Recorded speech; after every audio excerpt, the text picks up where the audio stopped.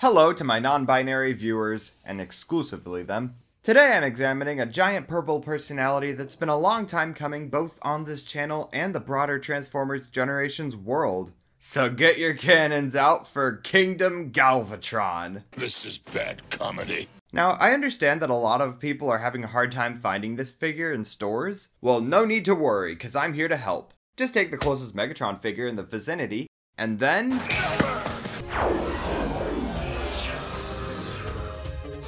Ta-da! So, just to establish the basics, Galvatron is the reincarnated form of Megatron and the leader of the Decepticons. So, being a character with a profile as high as this, you'd think he'd have a high toy priority from Hasbro, right?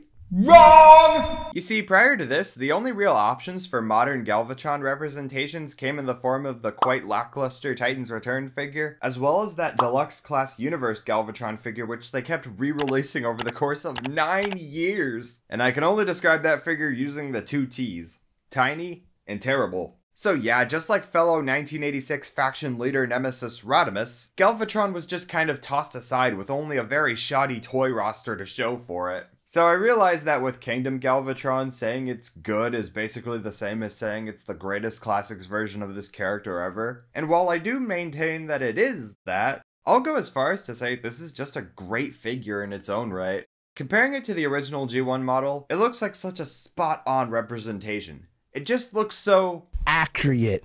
Maybe it's the thrill of the fact that it took 30 years to finally get a toy of Galvatron that actually looks like the animation model, but just seeing this huge purple maniac on the shelf is such a joy. I can't praise enough how good everything looks. It's just so well sculpted from the legs to the chest to the arms to the crest. This head sculpt is just too beautiful from the dynamic angles to the polygonal cheeks to the stunning silver face and he's rocking this big old crown thing that really puts the king in kingdom. This makes me so happy, especially because before this, the only reasonably sized Galvatron figure on the market was the Titans Return one, whose entire helmet crown detailing came up on this springy paper thin flap. There were like 900 upgrade kits made for that figure's head alone, so I'm just grateful that we finally have a Galvatron that features an entire head. You see what I mean when I said all this figure needed to be was good? And can we give them a round of applause for finally nailing the shoulder sticky yuppie things? I don't know if these things have ever served a purpose, like even in the alt mode, but they're just so Galvatron and he wouldn't have looked right without them. Imagine how cumbersome these things probably are. Every time you want to look at other side, it's just blocked.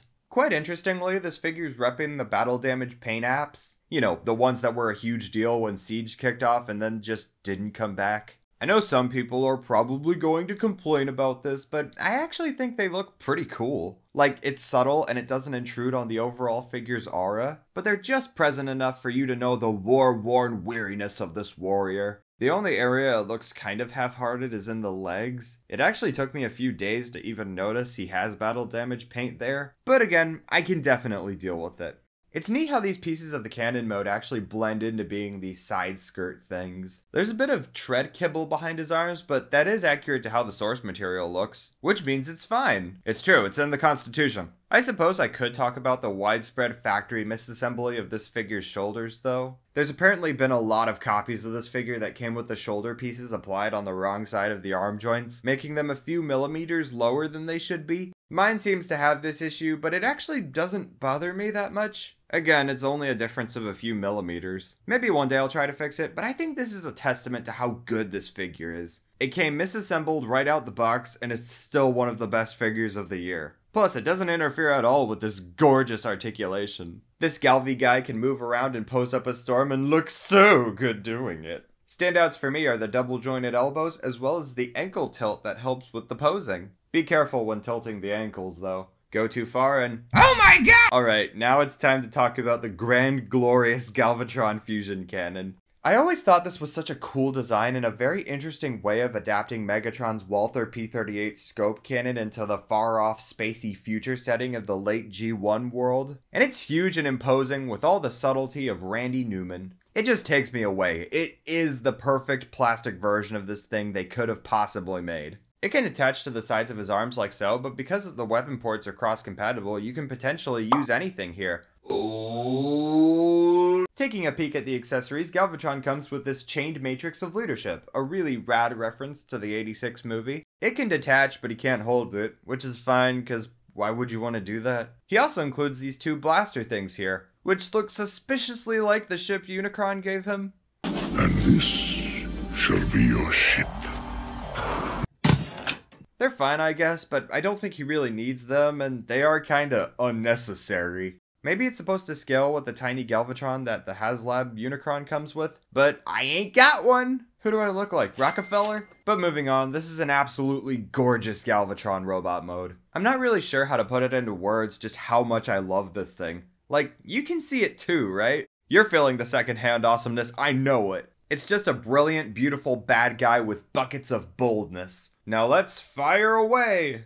Get it? Cause He's a cannon. The transformation is so good. I just love it. Everything works well and behaves properly. But I'm so impressed with how many components fold out and move around in very unexpected ways. And I'm so happy they didn't try to overcomplicate this figure to the point of frustration. It just does what it needs to and acts as a great fun toy to get your fiddly mitts on. And here's Galvatron in his future space cannon mode. I don't think it's a bold take to say that this is a weird idea. Like most of the Transformers with unusual alt modes during this time had their toys created before their cartoon designs, so what else were they supposed to do? But the 86 movie guys had their toys designed after their cartoon appearances, so they clearly wanted Galvatron to turn into this instrument of mass abstraction. Robots in disguise. For what it's worth, it is more reasonable than Megatron's gun mode. But you know what? None of that matters. It's cool and it's fun, and that's why it's awesome. This is why we go along with this logic, and because Galvatron is this huge upgraded reborn version of Megatron, this is actually a fairly sensible step to take with the alt mode, going from a gun to a straight up cannon. Judging the alien nature of the source material, I think this works out very nicely. It's absolutely what I want from Galvatron. It definitely succeeds at capturing the feel of both the character as well as the time where this character occupied the series. Adore the cylindrical industrial weapon holdy thing, looking like the Imperial logo. Anyone else think it's a little weird that G1ers always complain about Hot Rod getting Optimus Prime killed even though he didn't, but they never complain about Galvatron, you know, actually killing Starscream? Selective outrage much, G1ers? He can apparently attach the weapons on the sides here. Ooh, I'm good. Also, you can tab the matrix onto here, which is less dumb, and I think this was a thing that actually was in the movie at one point. But back to the main feature. In short, I love this guy. This is probably the best version of this thing they could have possibly made. This is exactly what I wanted from a leader class Galvatron. And it feels so great to finally complete the 86 Decepticon trio. All three of these figures are fantastic, and it's great that they can finally chill with their leader now.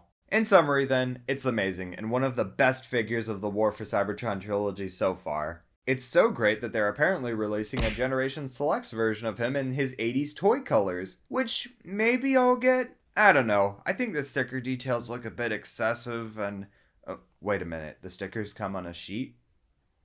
Alright then.